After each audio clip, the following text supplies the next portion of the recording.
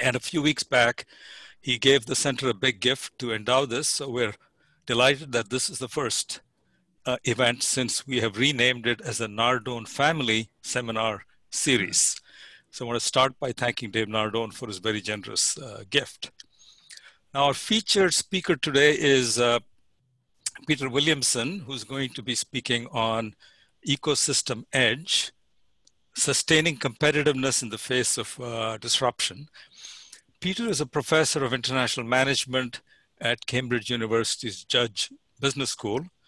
He is a, a very distinguished scholar in the field of international business and strategy and has written some very influential books, including one on the Metanational Corporation. Also, someone who knows a great deal about companies and businesses in China. Uh, he's also been a partner in several projects. I think we've done a book together and uh, co authored several articles, and is a good friend. And uh, a real delight, Peter, to uh, welcome you to this uh, uh, webinar event. In, in, normal times, we, we would have had you in person, but this is a pretty close approximation, I think, to that, that experience. he's going to speak to us on this topic, which is also the title of his latest book, Ecosystem Edge, published by Stanford University Press. Now, to have this conversation with Peter and to sort of pick his brains, I requested our distinguished colleague, Fernando Suarez, uh, to act as a moderator for this event, he, and he kindly agreed. Fernando, welcome again. Thank you, Thank you for, for being part of this.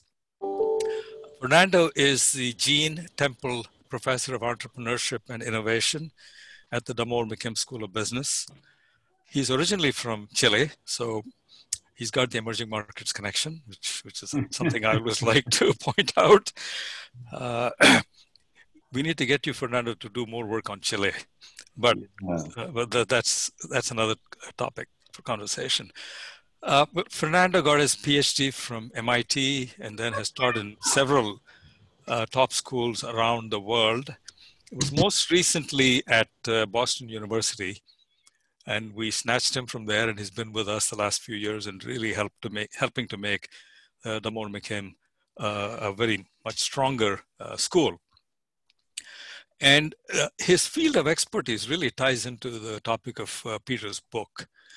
Uh, he studies industry formation, industry evolution, industry dynamics, and you know, the whole ecosystem phenomenon is something that is very much, I think, tied into that uh, those sets of issues. So I thought Fernando would be a great person to lead this uh, conversation. So I'm going to turn it over to Fernando. Again, Peter, welcome, and looking forward to this conversation. I'm going to pull back and turn it over to Fernando, who will take it from here. Thank you. Thank you, Ravi. Thanks a lot for the introduction. That's very kind of you. And Peter, welcome again. This is great talking to you again. Uh, Pleasure to be with uh, you. Yeah, it is my pleasure actually to be moderating this. So, Ravi, thank you so much for the opportunity. It is true that platforms are actually pretty close to my research heart. Uh, in the past, uh, you know, few years, uh, I've been, you know, transitioning from my uh, old work on dominant designs, which was kind of on product industries, to what that means in the digital world. And in fact, I'm writing two or three papers now as we speak that have to do with, uh, you know, uh, the translation of that old research into this digital world platform. So I, I have lots of questions. I thought that, you know, uh, Peter's book was super interesting. And I have lots of questions for him, and, and I hope we can all contribute to um, make this uh, a very interesting and engaging discussion. Uh, the topic is certainly interesting, and it's certainly, you know, driving a lot of the economy today uh, in this country and many other countries. Um, so let me, uh, you know, I think the way that I like to organize this, and, and Peter said he was uh, okay with that, um, is that, you know, perhaps we give Peter about 10 minutes to present, you know, sort of an overview of the book. Um, and, you know, I also like what motivated the book. What are the issues that he thought, you know, needed a bit more of answers and where managers actually needed some help. Um, and then after that, I will probably start with a few questions, but just to break the ice and hopefully, you know, we'll get more questions from the audience as well. I actually have lots of questions. You could be for a whole hour, you know, interact with me only, but I think it'll be much more fun if we get other people to, to join the conversation. Okay, so Peter, why don't we start with that? Let, let me give you 10 minutes. I'll be kind of the timekeeper. You know, I'll give you about 10 minutes uh, for that you know presentation, uh, introductory presentation, and then we'll start with Q Thank you very much, Fernando. Yes, well, I probably won't even take 10 minutes because I, I wanted this to be really a Q&A session, but uh, let, me, let me address some of those things to start out with. And uh, where did the book come from? Well, it was had long gestation period. Actually, goes back to about 2008 when I was working with Arnoud De Meyer, who was the dean of the business school in Cambridge, and I went there from INSEAD and we started looking at innovation in companies around Cambridge. And the interesting things we, we noticed is that they weren't just doing innovation inside the company by themselves. They seemed to be working as more of a biological ecosystem with a network of partners. And we're intrigued by that. So we started talking to them about it. And um, in the, we found that companies responded very well to this idea of you know building a network of partners to expand the capabilities and knowledge that they were able to access. And they also told us interestingly that they're often using ecosystems without knowing that they were using ecosystems. That they sort of got into this by solving a, a set of problems that they might have been coming up with a new value proposition or a new business model where they didn't have all the capabilities and knowledge uh, in-house to do that. I mean, a good example of that today would be something like a car company moving to a mobility system. It's very clear that the car company doesn't have all the uh, capabilities that you need, you know, that range very widely to, to create autonomous vehicles with cars sharing, with you know interaction with other road users, with charging points. With so I mean, there's a whole set of things that go well beyond uh, what was inside the the original company. So so and that's why we subtitled the book uh, "Sustaining Competitiveness in the Face of Disruption" because we think that disruption requires you to come up with a new business model, and it's quite problematic to try and do that if you have to learn everything yourself. So this idea of bringing partners with different knowledge uh, together uh, to do something new in terms of your business model uh, was important. But what the executive said to us is, uh, we think we're doing it, it's very interesting you've come up with this idea to sort of systematize what we're doing. But the question we'd like you to answer is how, how actually do we uh, uh, stimulate and catalyze one of these ecosystems? And, and, and the first thing that we, we found about that is, of course, that you can't command and control it. Indeed, to command and control it would, would be to destroy a lot of the potential benefits that you might get from it. So I, I, what we started to write the book about, really, our, our objective was to help managers understand how they could lead an ecosystem. Not, not only why you might want an ecosystem, uh, what an ecosystem is, but how you would lead it. And uh, so perhaps, perhaps I'll say a little bit about what were the keys we found about how you go about leading one of these ecosystems. Yeah, that'll be that'll be great. Yeah, that'll be great. Before I do that, I probably just should say what one is. Uh, and yes. because a lot of people talk about platforms and two-sided markets and so on as being ecosystems. And, and we would contend that they're primitive ecosystems. the reason we would contend that they're primitive ecosystems is that there's not a lot of interaction between uh, the partners that is not moderated uh, through the lead firm. And the, the kind of ecosystems we started seeing emerging in Cambridge had a lot of interaction between the partners that wasn't always moderated through the lead firm. And that changes if you're going to uh, work with an ecosystem, a leaded ecosystem that's like that, where you don't control everything and, and, there's things happening between the partners in the network that you're not even part of, uh, you need to have a different approach to, to, to uh, working with it. So for, for us, what an ecosystem is, is a network of partners that complement each other's business to make everyone more successful. And they coordinate their investments and they learn together and they innovate together. So it's a very dynamic uh, kind of idea. And it, and it really is a true network. Um, and therefore, when I ask executives to, to think about drawing an ecosystem for a new business model, the one thing I tell them is I don't want to see hub and spoke. Please do not put your company in the center with all these people just connected to you, because that is not really going to get the benefits of the, uh, the, the ecosystem. And as I just mentioned, the benefits of the ecosystem are basically threefold, and we might look into this a little bit more later, but the, the first is discovering a new value proposition where you don't know exactly what it looks like. So you can't just set up a supply chain uh, to do it because you don't know what all the roles are going to be uh, and who, who has to do what and what, how you would measure their performance. So you've got an idea that there's value out there. I just mentioned the kind of mobility system. So you can see all the advantages for the end user and for efficiency and so on. But it's not that clear exactly what the value chain might look like. Uh, so you've got to discover what it looks like, and that requires a different interaction between partners than this kind of hub and spoke system. The second thing it's good at is innovation, to speed up the process of learning. And uh, to bring together, as I said, this dispersed knowledge and capabilities that isn't inside one firm, but is scattered around all the all the partners.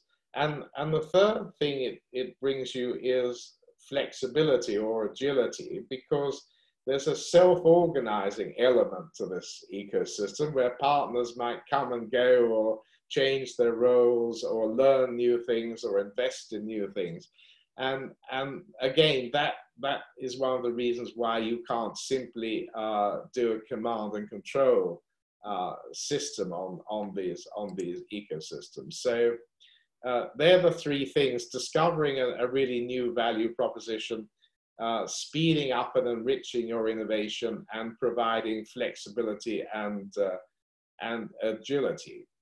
Um, so what what do you have to what do you have to do to lead these ecosystems? So we, we basically found six things. I'll, I'll just run through them quickly, and then perhaps we'll stop and and, and you can ask some questions. So, so the first is you, you, you have to demonstrate that you really believe in this ecosystem and that you're prepared to invest in it because um, what we observed is everyone wants to join your ecosystem once it's successful, but nobody wants to join it when you're trying to get it going. So there's a lot in the book about how do you kickstart this process, but one of the things that you need to do is invest in the ecosystem. That, that might be uh, sharing some of your knowledge or capabilities with partners. It might build, be building tools to uh, to help partners, but you have to do something to really put your money where your mouth is and invest in it. Uh, the second thing we found is that you, you've got to co-opt the right foundation customers, or in some cases it turned out it was actually the customers' customers. Uh, and, and they aren't necessarily the largest customers. Because interestingly, your largest cu customers often have too much invested in the status quo. So we found the most interesting uh, foundation customers are the people who are challengers. And they, they have to um, believe, they have to have a need that there's no existing solution in the market can satisfy, otherwise they won't invest with you to, to innovate. And they have to also feel that while you might give them some first mover advantage, um, that other people will adopt this innovation once it gets going. So uh, that's the second thing. The third thing is that you have to uh, design some kind of roadmap for how you see the process of discovering the value proposition and developing the ecosystem will work. And, and why that's necessary is that uh, it doesn't have to be exact. It will need a certain amount of flexibility, but it needs to be stable enough so that the partners can invest in it. If you keep changing your roadmap all the time, you will obsolete the investment the partners have made, and they won't. They'll be they're pretty missed, miffed about that. So you, you, it's it's a balance between having sufficient stability in the roadmap's direction so they can invest, but also the flexibility to discover this value proposition. Uh, the fourth thing uh, is that you, you need to communicate uh, the value of joining to your potential partners. So you not only need to have a customer value proposition from the ecosystem, but you need to have a whole series of partner value propositions. So the answer to the question, why should I partner and invest with you in, in developing this thing? Uh, the, the, the, the fifth uh, thing was shrinking the barriers to joining. So uh, how do you actually make it easy for the partners to join? Uh, one way that people often do that is uh, uh, waiving any joining fee, but it's much more than that. It, it's thinking about how do you reduce the amount of the investment that the partner has to make to get over the hurdle of joining the ecosystem. The, the sixth thing is, is that you probably need to restructure your organization so that it can work with external partners. That's that might require you to build a, a, a specific partner organization within your company. It's also kind of learning to lead people that don't work for you because you've got a whole lot of people out there in the ecosystem you now depend on who you can't tell them what to do and the normal kind of bonus incentive systems don't work because you don't work for them they, they, they don't work for you. So you have to figure out how to um, how, how to actually incentivize them. And of course, the final thing is you need to monetize the ecosystem. And I, I think, Fernando, we might come back uh, back to that. But we've yes. we've spent quite a lot of time in the book thinking about you know when can you monetize it and, and when do people fail to monetize it after they've built a lovely ecosystem they can't make any money out of it um, and what do the kind of toll gates you put in the ecosystem look like to, to earn some money so uh, the, the book uh, mostly focuses on those seven things which are really about how do you lead an ecosystem so I'll stop there. I see you at your phone. So this is, I just looked at the phone. You were perfectly on time. You know, uh, just, just, one more minute. That's great. So, so, so, let me, I mean, let me go off script here a little bit and ask you something that really caught my attention when you said, you know, like that platforms are just primitive ecosystems. And uh, right. you know, being a little bit of a platform researcher myself, I think it's such an interesting, and, and I and I do get what you're saying, which is actually very interesting. Uh, the idea of you know this is these are not hub and spoke, but the reality is that you know I, I see this more as a continuum, and I want your reaction to this because in reality, a lot of the platforms today do allow for uh, the communication between the partners. So, for instance, you know the smart home uh, platform. You know this is actually a big battle now between you know it's going to be Alexa, Google, Google Nest, or you know many other competitors um, a lot of those uh, uh, connections now, you know, when you when you connect to uh, Nest, for instance, through your APIs, you can actually also connect, you know, with other uh, complementers that are doing something else. So, for instance, so that your, you know, your smoke alarm can actually yeah, can actually talk to your, um, you know, your alarm system, so that you know it will sound alarm also, or something like this, or actually lock the doors, or you know, whatever, chat the boiler. So, uh, so, so I think you know it's it's much more of a continuum. I mean, I don't think you can say platforms is you know hub and spoke, and then you know these are different. No, yeah. I just want no. your reaction to that. Yeah, so let me respond to that. So, I'm not saying a platform can't be an ecosystem, or at least the core of an ecosystem. But what I am saying is that the platform itself or alone is not an ecosystem because right. it doesn't allow these interactions that you described. And, and, and interestingly, it, when we were looking at the book, we, we, there's a, Alibaba's in the book. Are, I can talk about that later, but because uh, I work closely with them. But we also wanted to look at Amazon because everyone knows Amazon. and when we looked at the Amazon e-commerce, we basically found it's a pretty primitive ecosystem. but when we looked at Amazon Web Services, we found it's a platform with an amazing ecosystem around it. so, and, and most of the innovation inside AWS actually occurred in the partner network of people providing uh, software, providing migration services to the cloud, providing complementary technology.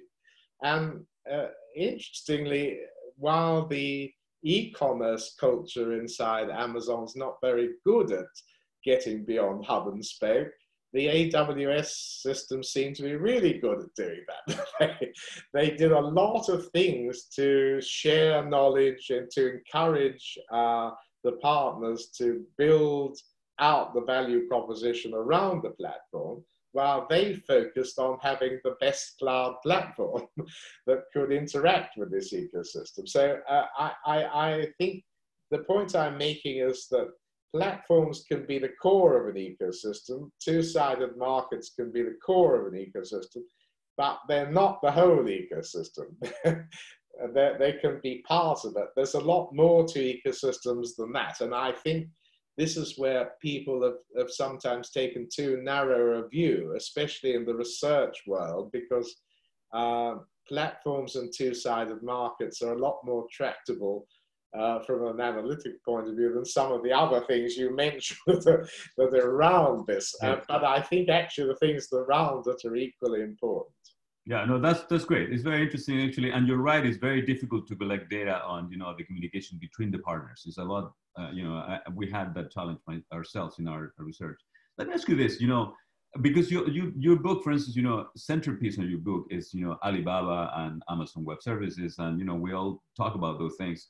And they have been quite, you know, extremely successful, both of them, both of these companies, you know. Um, but uh, the reality is that if you look at you know ecosystems in general, um, oftentimes the company that is at the kind of center of the ecosystem, you would you would call leading the ecosystem, um, doesn't actually uh, end up with the lion's share of the of the value created. So I, I wanna I want you to speak about value creation versus value capture, because you know uh, if uh, if you take the example of IBM, for instance, in the 1980s, that they, you know they created the famous IBM PC and everything um, that ecosystem became really complex and they just could not grab the lion's share of the market. In fact, they ended up selling their, their, their unit to Lenovo uh, and, and actually losing quite a bit of money uh, over time.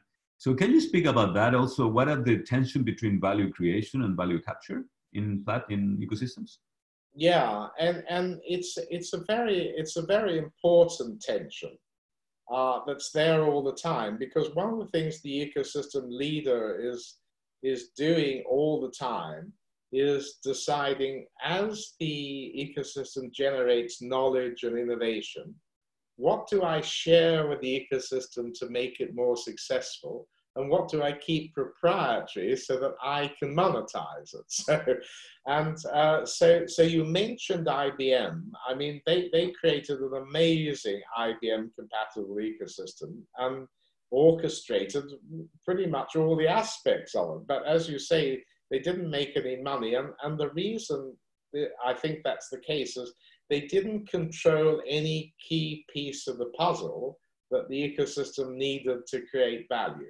So in the book, we call it, following Iansiti uh, uh, uh, the keystone, that we call it the keystone from the old book, The Keystone Advantage. Yeah. Mm-hmm. Uh, and, and, it's something you have to have. It might be IP, it might be data, it might be knowledge that the ecosystem can't do without. And, and that's what gives you leverage in order to uh, take profit out of the ecosystem. And, and IBM's problem is that Intel had that and Microsoft had that, but IBM didn't have a keystone of any type. So they were doing all the orchestration, they were creating a lot of value for the ecosystem, but they couldn't actually monetize it. So you, you, you need to find that keystone, uh, that thing that you know can leverage. And interestingly, in the case of Alibaba, what we found that is that it's data. Uh, but it's actually their ability to capture the data and use the data in new ways that is the thing that, that gives them leverage. But once you've done that, you need to put um, toll gates around your, your, your keystone. So they could be license fees, they could be royalties, they could be fees from selling value added services into the ecosystem.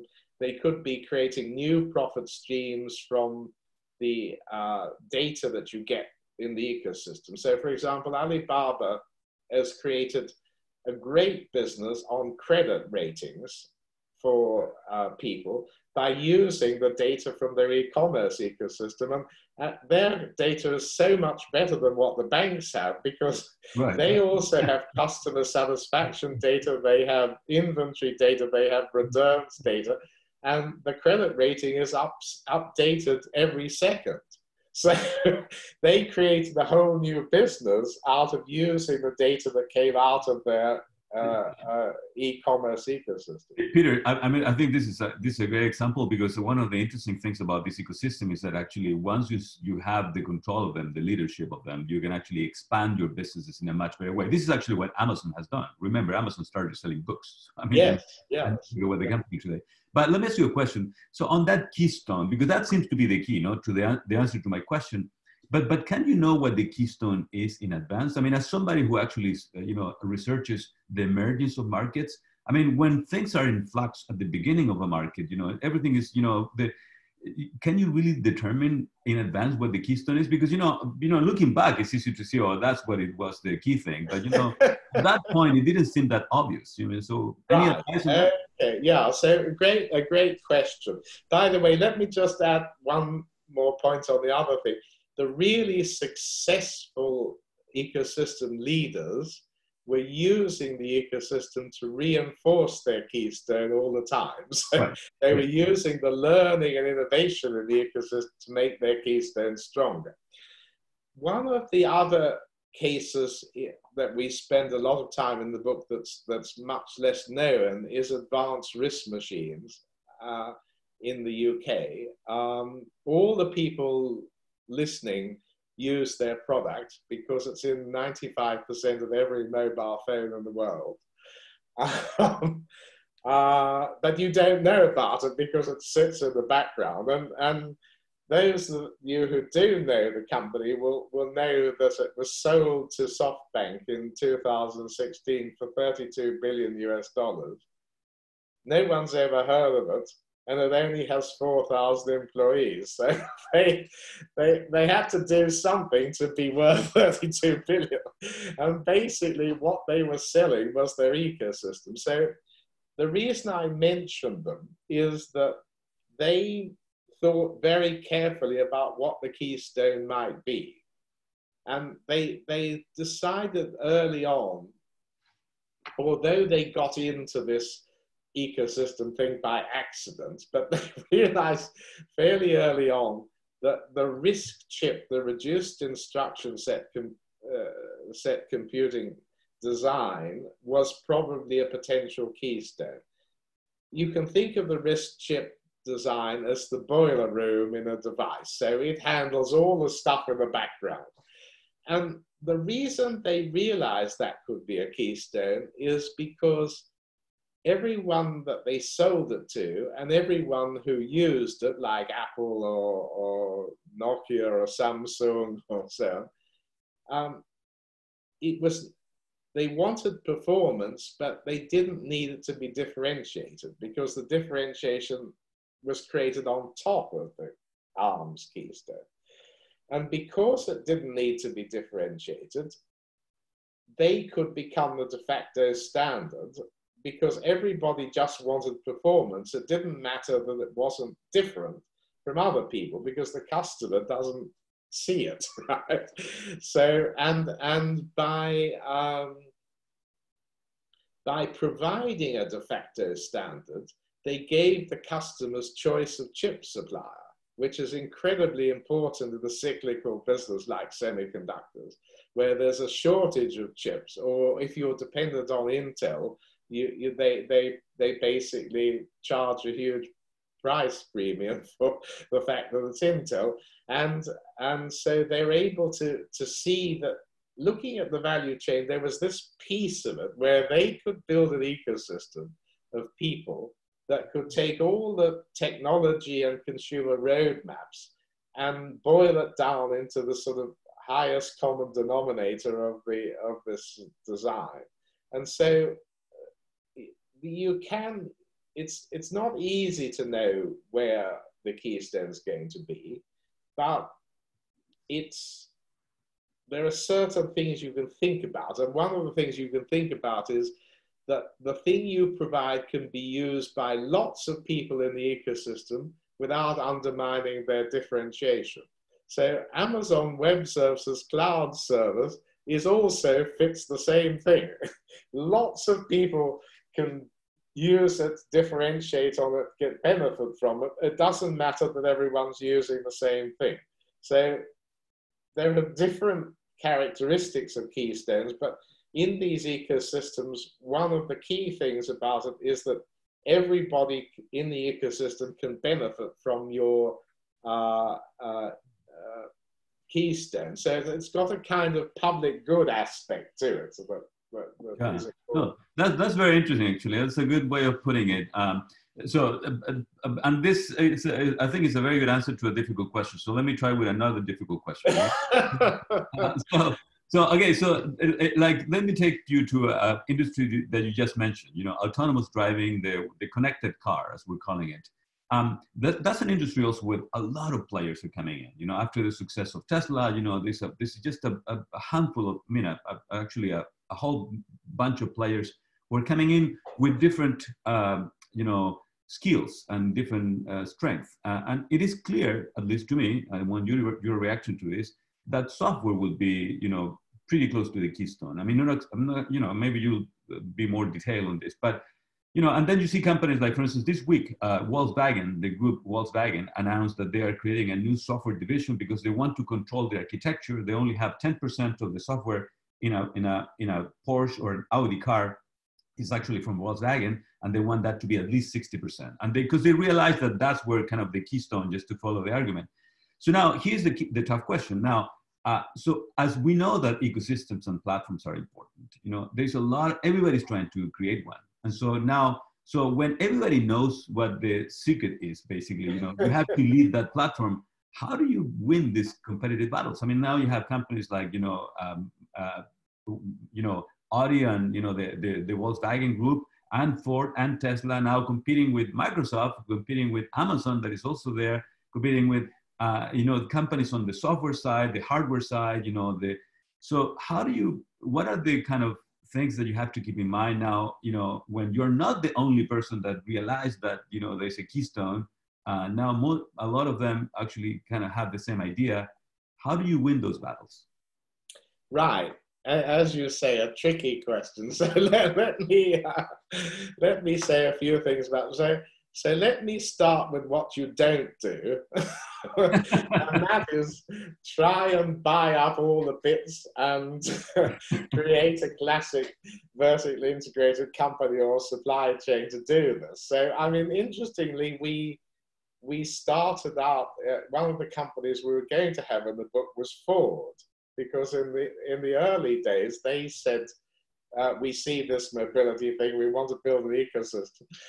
And we found what they ended up doing was buying up everybody, creating a classic supply chain, which was totally not going to work in this in this case. So within within the uh, the big mobility ecosystem, they're going to be uh, sort of sub ecosystems.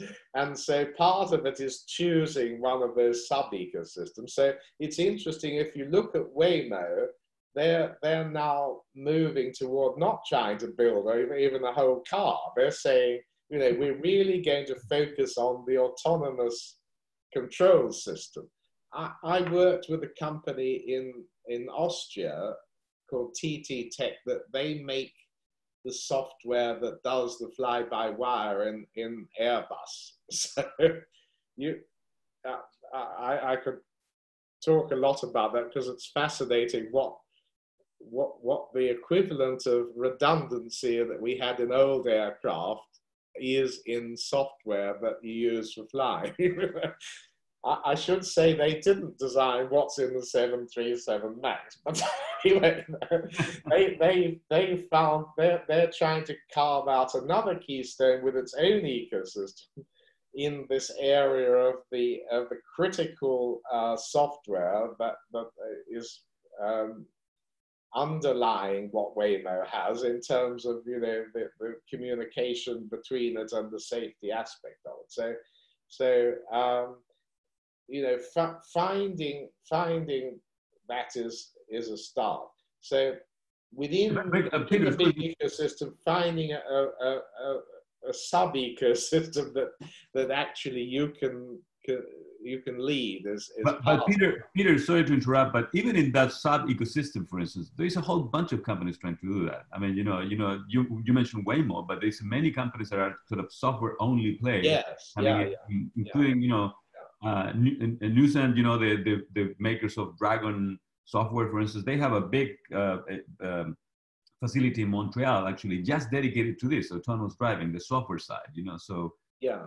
So, so, the I, question still the question still is, is still valid even at in, at the level of the yeah, system, yeah. you know. So, so if I can break down your question to a sub subset of things. So so the first thing is to think about do I try to lead that part of the ecosystem or do I become a participant in and let someone else lead it?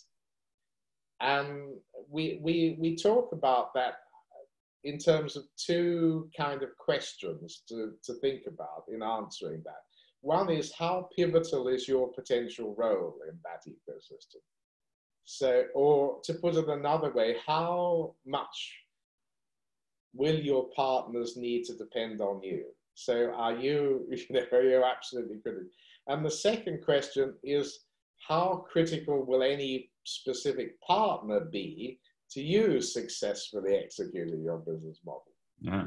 Mm-hmm. And, and if you have a critical role to play in the ecosystem and you're not that dependent on any single partner, then you can probably be the ecosystem leader.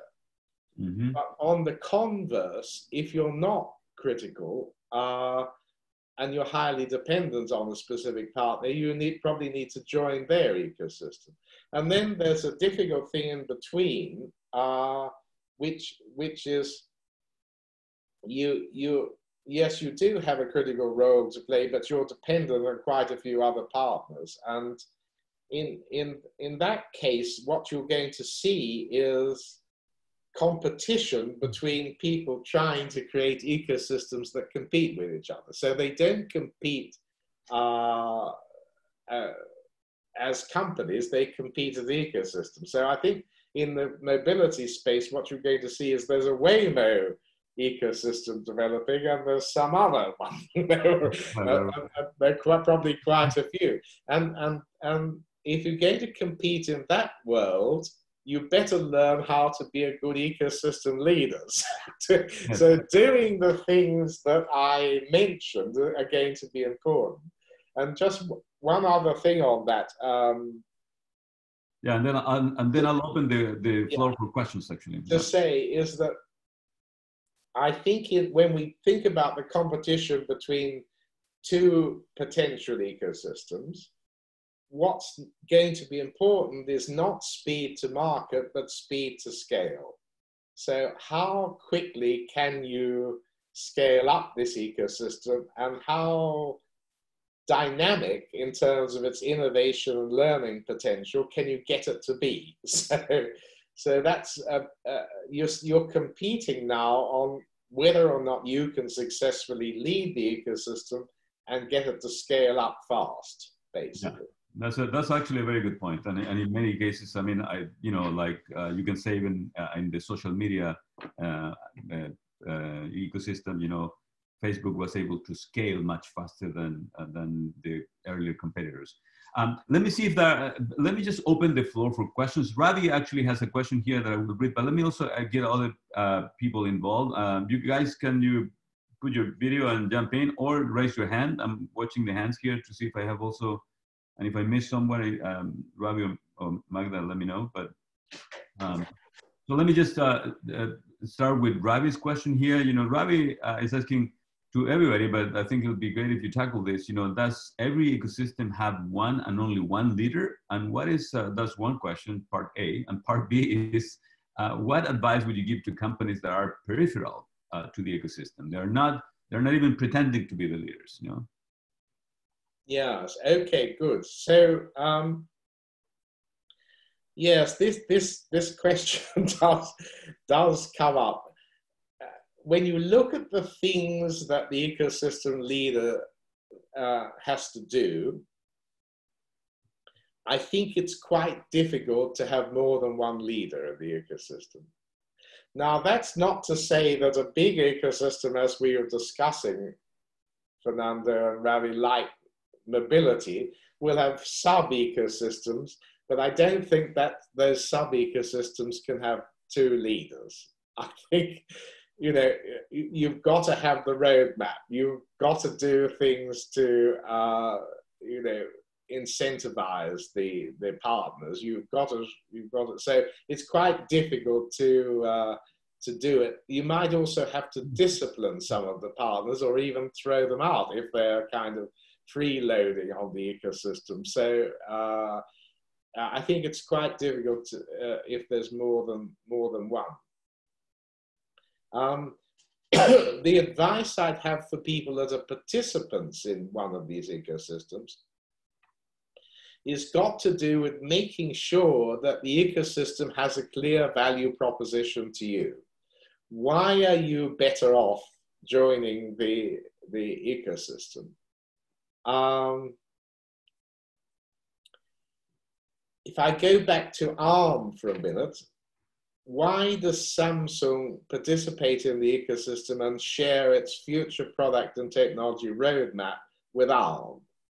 Well, because they know that there's a de facto standard going to emerge, and the, and it's from their point of view, it cuts the cost of this uh, design. It allows them choice of chip manufacturers, and it allows faster innovation.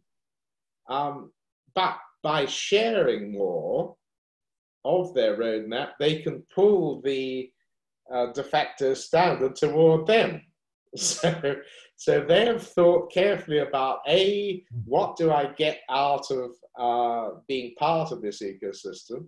And two, how do I get the ecosystem to look more like what I want it to look like? So, mm-hmm. so that, that's a key, uh, they're two key considerations for participants in the ecosystem because you, you're not in this because you love the idea or you love the leader. You're in it because it's going to be beneficial to you. Yeah great. Thank you. Uh, i think there uh, yeah there's a question actually uh, from georgette hey george. Hi um, the question is what are the costs and disadvantages of being part of an ecosystem uh, basically what do you have to give up to be part yes. Okay. So, uh, so, so that's that's a very very good question. And uh, when when we were when we were writing the book, uh, one of the things that we had to admit is that ecosystems aren't for everybody. and uh, they're, they're simply not efficient at doing things where the product and service design is pretty stable, where the roles of the different partners are pretty well defined, where the interfaces are clear, and where you don't need a lot of innovation and agility. So normal vertically integrated companies, markets, or supply chains are much better at doing that. Okay, so you only want to have an ecosystem when you need the three things I mentioned earlier trying to uh, realize an uncertain vision, trying to speed up innovation and learning and trying to get more flexibility. Mm-hmm. So the downsides are that from a transaction cost point of view, it's not as efficient as a supply chain or a vertically integrated company. From a control point of view, it's more risky. You're more likely to also have IP leakage and other issues in an ecosystem. So there are downsides. So, so you shouldn't try to apply an ecosystem where you don't need the three things I mentioned to yeah, discover yeah. Innovation and organic. And the interesting thing about that is that we found that once those three requirements went away and the the um, value proposition became very clear, the role of partners became very clear, then the ecosystem started to move to look more like a supply chain. but what the smart people did is, as I mentioned with Alibaba's thing, they they used the ecosystem to spawn another ecosystem. So once one kind of evolved to the supply chain, that was fine and now we'll have a new one. so, so they kept on expanding their business. And I, I, think you can see a little bit of that in Amazon. You yeah, know, absolutely. Um, the, the core business has become more traditional because the, the full ecosystem approach is not efficient to do that. But new ones are sort of being created around it. Yeah, George, I see you there. I'm not sure if you have a follow-up uh, comment or question on that. Uh, yeah, my question was actually wasn't so much for the leader of the ecosystem, but for the followers in the ecosystem. I think I agree with what, you about for the leader. What about for the follower? I, I think this is uh, this is what uh, you were talking, Peter. No, or did I get it wrong? Yes, yes. I thought you were talking about for the leader. Well, I said what I think the follower should do. Yes, yes. Okay, all right yeah, so okay. Thank you. Yeah.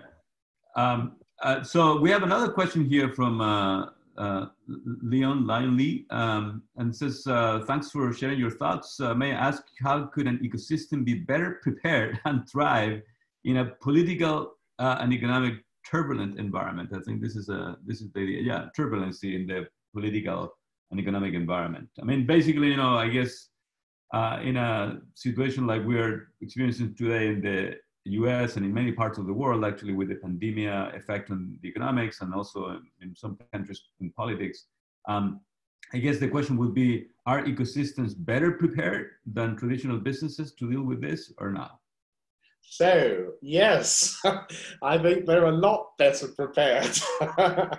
and why do I think that? Well, well, there's a couple of reasons. I mean, if we if we just go to the current uh, coronavirus crisis, I mean, Germany's president, Frank Walter Steinmeier, said something interesting the other day that really struck me. He said, no single entity covers the medical, economic, and political elements required to produce a vaccine for all in the world.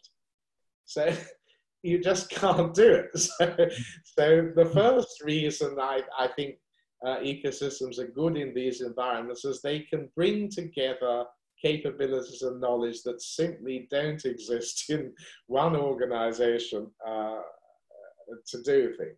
But the second reason is because they're very good at promoting learning and they're very good at promoting flexibility because of this kind of self organizing uh, thing. They're actually the best way to deal with uh, disruption and and uncertainty and uh, political problems. So, and, and I, I, guess the other advantage they might have in a difficult political environment is that um, you, they're, not, they're not associated with just one company. So, I mean, you, I, I guess you have to think about a little bit how much you're going to brand the ecosystem as yours, or how much you're going to sort of let it be more of an organic thing that, that's there, even if you're kind of leading it. So, uh, our contention is ecosystems are, are really well um, designed to do new things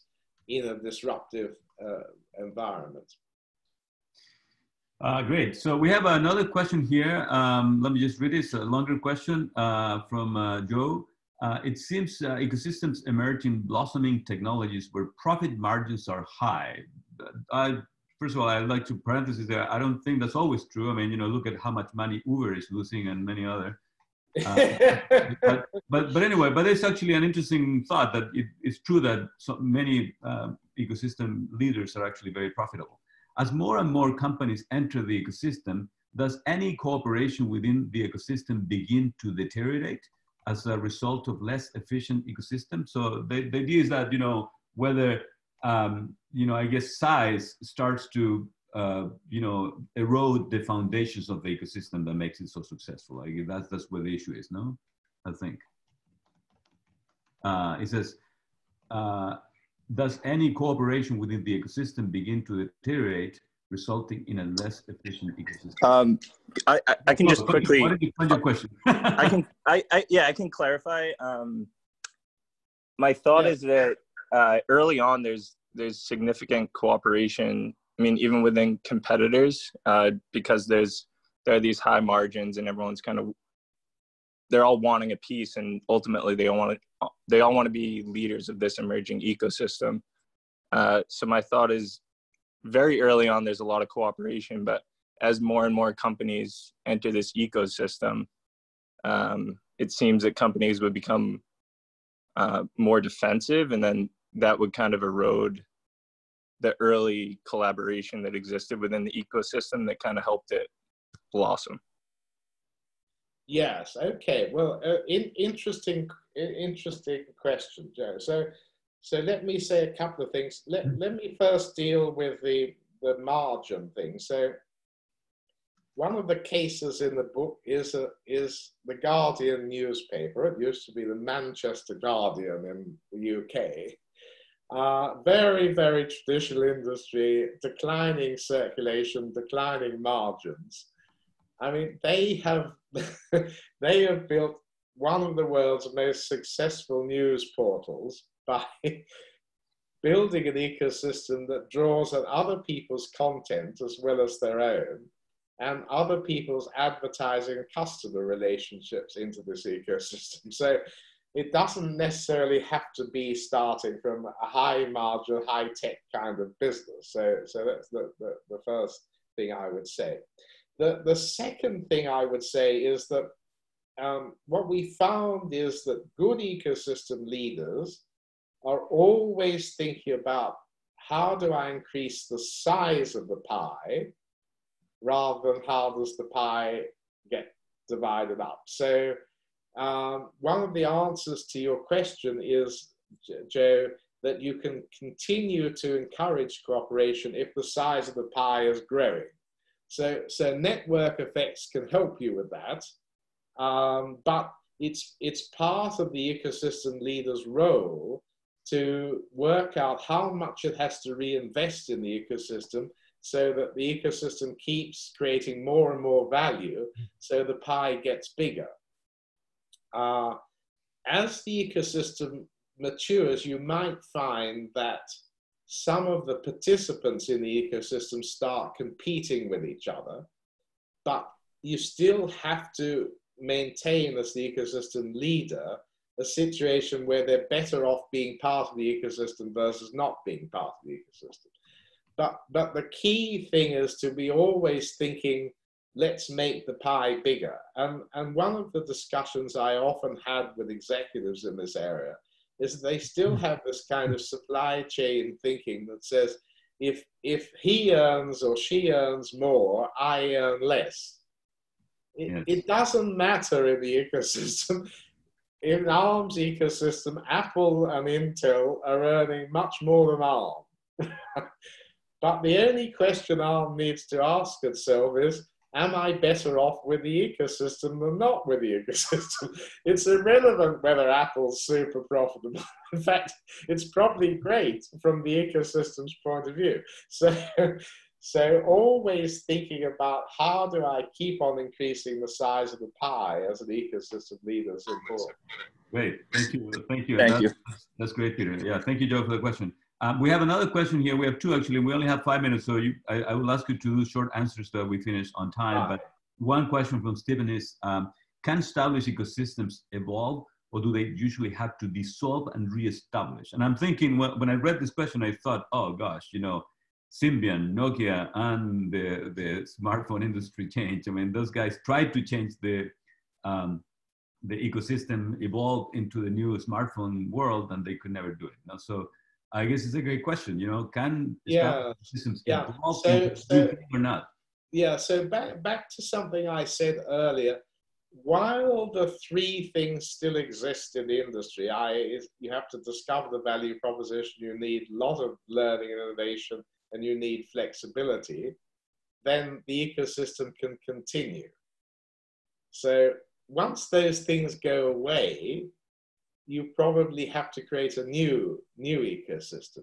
So interestingly, in the case of ARM, what you see is that the original ecosystem has pretty much remained because the requirements of creating new value through mobile devices with uncertainty and the need for learning and innovation and flexibility has, has been maintained in that industry. But once the sort of product stabilizes and the value proposition stabilizes, you probably need to, to uh, evolve a new ecosystem. And uh, in most cases, and in, this is also true of ARM, uh, it's it needed to then spawn a new ecosystem. So its new ecosystem is about Internet of Things, because Internet of Things is now stronger in the three requirements than mobile phones. But mobile phones still have enough, not in so much the product, but in the total value proposition, that mm-hmm. the ecosystem can, can uh, continue. But basically, once you stabilize things, the ecosystem will, will degrade and move toward a more classic structure. Okay, we have one minute for the next question, which is okay. similar to my question on what's the difference between platform and ecosystems that you took. Uh, then Greg is asking, how would you distinguish between uh, the ecosystem structure you described and open innovation? Okay, so uh, open innovation can be part of the ecosystem I described. It's, it's just that there's stronger leadership in the ecosystem I've described than in pure open innovation.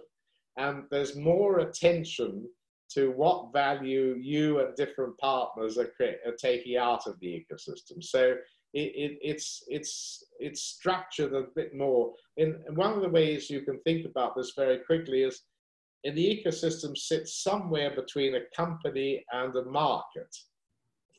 And the open innovations a bit closer to the market with a bit less structure and, yes. and leadership. Great, that's a great way to put it. And this is perfect timing to uh, Peter. I mean, it has been a pleasure to moderate this discussion. Uh, it's really always nice to talk to you. And I'm going to give it back to Ravi for the final closing. Ravi, thanks Thank again. you. Thanks well, for a great job, Fernando. Yes, indeed. Thank you, Fernando, and thank you, Peter, for uh, great uh, responses to all, all, the all the questions. I think we could have gone on much much longer. Uh, I've learned a lot of useful things. These you know these industries are around us, and we're all watching them take shape. And it's nice to have a way to think about them. Uh, and I think you've given uh, me certainly lots of uh, ways to slice it and conceptualize what's going on. So thank you for that. And I don't know what you're working on next, but whatever your next book is, uh, you always have an audience here with us at the Center for Emerging Markets at Northeastern University. and uh, look forward to meeting you in person, Peter, when we have the opportunity. And Fernando, again, thank you so much for uh, uh, moderating this. I knew this was your cup of tea, and uh, it was great to see uh, your back and forth uh, with lots of interesting questions. Thank you to the audience as well for, uh, for joining us, and we'll see you all at the next event. Thank you. Ravi. Thanks a lot. Yep. Thank you very much. Yep. Yep. Thank you, Peter. Thank you. Thank you, Peter. Thank you, everybody. Bye bye. Pleasure. Thank you. My pleasure.